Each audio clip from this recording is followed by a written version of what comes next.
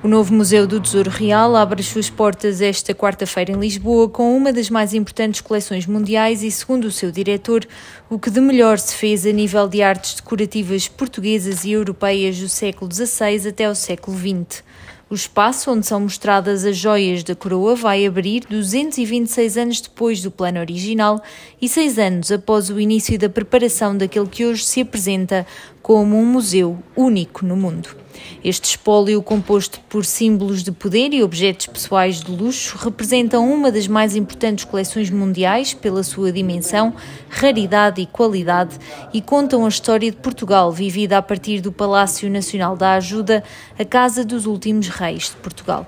E para proteger um espólio desta dimensão e riqueza é necessário um sistema de segurança com vários modelos de redundância que só têm equiparação com os do Banco de Portugal e da Casa da Moeda. Quando o museu de três pisos fecha ao público, a Caixa Forte também se fecha, tornando o edifício num dos mais seguros da Europa e do mundo.